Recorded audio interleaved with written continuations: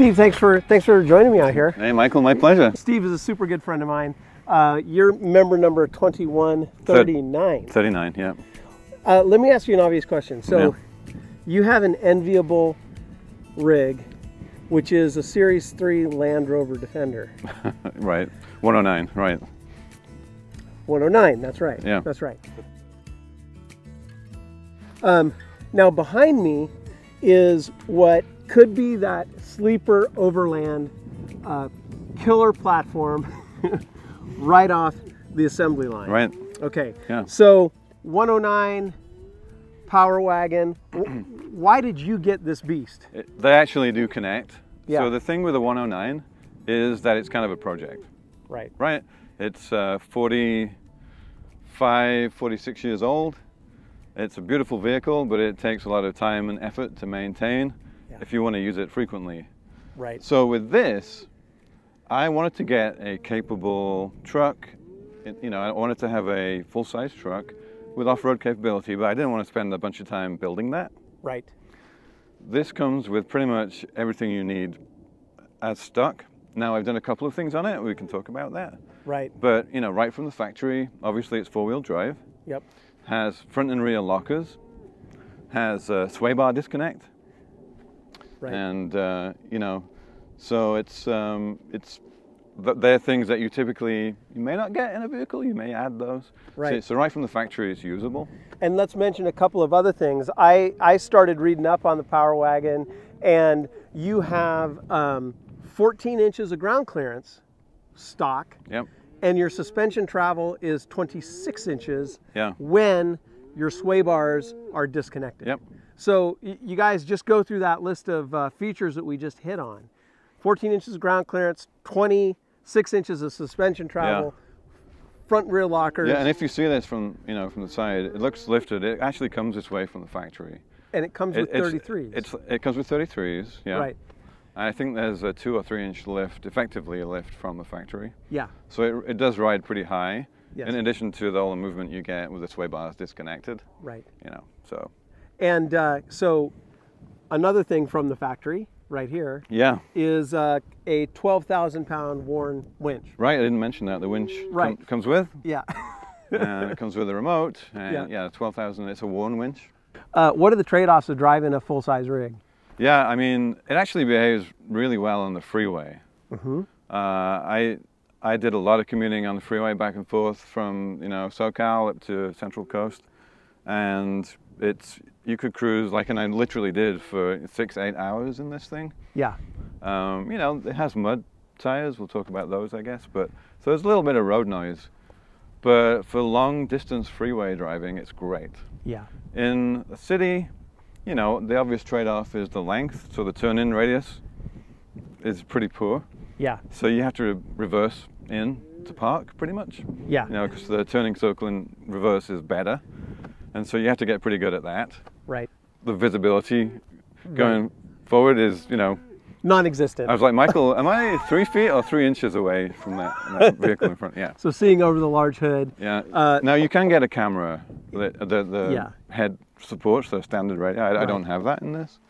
So uh, lots of ground clearance and a big hood because underneath this hood is a Yeah, it's a 6.4 Hemi, yeah. so it's a V8 obviously, right. And it's about 400 horsepower, about a little bit more than that in, in terms of torque.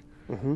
Uh, you know, so it's pretty good. So It- in it, it, in low range, uh, so in low range with that kind of torque, it's going to be plenty capable Oh, on, yeah. on the trail or crawling over stuff. Yeah, you just Yeah. sort of take your foot off the gas and put it into hill descent, and you know, Yeah. Yeah, it's good.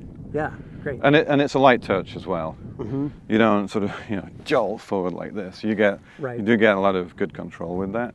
Right. Yeah. So that Right. leads to my next question. Just comparing and contrasting your experience. I believe you were in a 110 over There's there. a yeah Defender 110. uh, eh, with with this. How did they uh, compare in terms of trail worthiness or road worthiness? Well, that's an interesting thing. We were in Scotland, Yeah. so you really don't get to go off road Uh-huh. um, in Scotland other than sort of curated things that you can do. Yeah. So I don't know. hmm Um, I've driven a few Land Rovers. I've owned a few. The, that was a diesel. Yeah. And it was a stick shift. Yeah. and uh, you know, and they're they're definitely more tractor-like, even even to the end. They don't make defenders anymore, not the old style. But, you know, they're, they're they have some nice mod cons, but they're pretty pretty agricultural in, in style. Their DNA. and that, that's part of the character. I think that's what one of the things people like the square angles on them. Yeah. This rounded, more modern, has a lot of electronics. Yeah. You know, Yeah. Yeah. Ni- perhaps nicer or a little bit smoother to drive. Yeah, um, Land Rovers are pretty good on, on the road. I mean, they're, they're sort of, like I said, a little agricultural. Yeah. This is definitely, you know, a nicer vehicle to drive on the highway, Yeah. in my opinion. So tell me about the interior. Uh, you were pointing out that flat deck in the back, and clearly they're all a crew cab. Yeah. Uh, tell me a little bit about the interior. Yeah, so uh, it's like I said, it's a crew cab. It actually has a bench seat in the front, so you can, at a pinch, seat six people in Right. there. I don't know that I'd recommend that because I don't know that you have to be pretty good friends with the person next to you in the front. Uh, yeah, the inside's uh, pretty modern, pretty well equipped. Yeah. Um, you know, it has, like I said, it has a lot of the electronics. So there's navigation, and all that stuff comes with. Now, what about that flat deck? So I think uh, certainly all the power wagons have the, I think they call it a fold flat floor. And so basically you fold the rear bench seat up and then there's a folding floor panel that goes over. So you get a flat deck back there. Yeah. And people like to put their dogs back there because they mm-hmm. get, you know, more, they don't want to put the dog in the back of the, of the pickup Right. necessarily. They want to keep it inside. So a lot of people do that. We do it, we, we basically keep the pickup bed empty mm-hmm. and carry everything inside because we'll camp in the back. Right. We have the soft topper and everything. We can talk about that. So we don't want to be having to move everything out when we go stop Yeah. and camp. So we, we keep it all inside on the flat deck. Yep. You know, we can stack a couple of the Wolfpack, uh, the Front Runner boxes in there very easily, and all of the sleep-in stuff. And uh, yeah, it's, uh, you know, if there are only two of you, which there generally are with us, Yeah. that works out well. Yeah. If you have kids with you, not so much, you know, because Right. you're going to have to give them a seat. You have to do some shuffling, but Yeah. yeah, and I, uh, it's a great place if if people do opt to go with a with a refrigerator. It would be a great place to have a fridge there as well. Yeah, we we want to do that actually. Yeah. Mm-hmm. Do a sort of slide out sideways. Yeah, and so it, it also uh, we're, you have 110 in the uh, in the an Yeah. inverter Yeah. that comes from the Comes with, factory yeah. as, as well. Yeah. So a lot of great just um, right from the factory. Uh, great accommodations if you are going to take it on a lo- long road trip or some kind of overland trip. Yeah, it's a modern vehicle, Yeah. you know, and it has a lot of the sort of you kind of expect to have a certain level Mm-hmm. of uh, electronics these days. Hopefully they're reliable. You know, there's more stuff you have, the more there is to go wrong. But so far, so good. Let's talk about gas. Yeah, it uses gas. It does. I get, yeah, it's, um, well, I have the 35 tires, so the, the reading inside is skewed by about 6%. Right. So it's reading low. So I, I get about 13 miles plus 6% to a gallon. Right. Okay. So, great big rig, great big engine, um, 13 plus or minus when you're driving around, Yeah. you know, on average. Yeah. Uh, still better than my Land Cruiser. Tell me about what you've done. Uh, so probably the first thing I did was I have uh, uh, aftermarket wheels. Yep. So I have the Method Hole, I think is the the type of Uh-huh. the wheels. So they're basically, um, I think they're uh, 12 and a half, and they're 17 inch, you know, 17 inch radius, and um, they're about they're a zero offset, and which pushes them that way by about an inch. Right. So they, they do stick out a little beyond the factory. Um, so they're 35s. They there's no problem with that. You know, 33 is stock. People do put 37s on with no issue. And I have the uh, Toyo MT uh, Open Country mud terrain tires. Um, Do you like them? I think they're great. Great. I've had them for about 14,000 miles so far, Mhm. and done a lot of freeway driving in that. And they're they're really good, not too noisy on road. Great. And I've been in mud a few times. Yeah, honestly, I didn't notice it on the on the freeway, but I Right. have my own I have my own mud terrains. Tell me about that swing out back there. Yeah, so the swing out is uh, from RIGd Supply. Uh-huh. Those guys are in Orange County, and uh, it's a pretty new product. It came out last year, I think. And the one I have is the uh, Ultra Swing is the brand name, I think. It's the multi-fit. So it was designed with more um, clearance for larger vehicles, and um, it's a hitch mount. So it's not a bumper mount. It's not a new bumper. Mounts to the rear hitch, and I'm pretty happy with it actually. It swings clear of the vehicle Oh, that's great. you know, so I can get the tailgate down without any issue. Fantastic. Yeah. And then you've got a soft top. Tell us about that. the soft topper. It's the you know the soft canvas uh, shell for the back, Uh-huh. and uh, it's pretty cool. You can. What's cool about it is it's, it's waterproof first of all.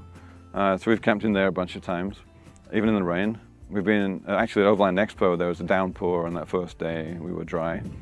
Um, you can. It's pretty easy to fit. You can remove it easily. So you know, if you want to have, if you want to put a fridge in there to help your neighbor move house or something, you can just take it off, Right. and it comes off easily.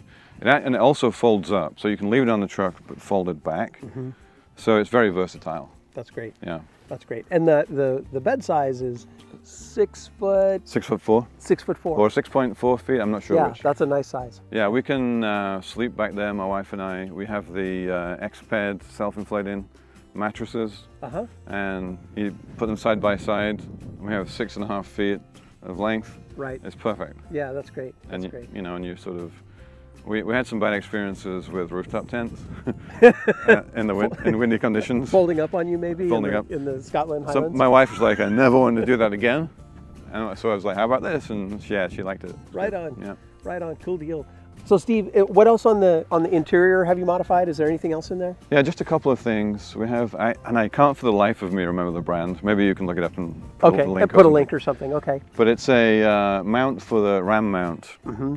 For phones, mounting phones and everything like that. So you get it's a plate that goes, and I'm sure you'll catch it on B-roll, but it's a plate Yeah. that goes right on top of the dash, Yeah. and you can uh, put a sucker mount there with a RAM mount. We actually have a magnetic mount in there, Yeah. and it works great actually. We wondered if it would fall off with an iPad hanging on the RAM mount, but it was perfect. So that that was just a little mod we did. Uh, we have CB radio. Uh huh. Um, I actually have a video coming up on the install for that. Great.